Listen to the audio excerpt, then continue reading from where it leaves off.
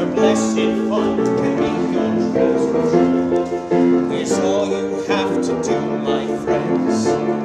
Write your name and your dream on a card or a pad or a ticket. Throw it high in the air and should Our Lady pick it, she will change your way of life a week or even two. Name me anyone who cares as much as Eva Perón.